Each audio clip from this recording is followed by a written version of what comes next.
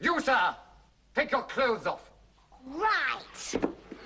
Would you ladies mind retiring into the next room, please? Come on, my little doxies. Come on.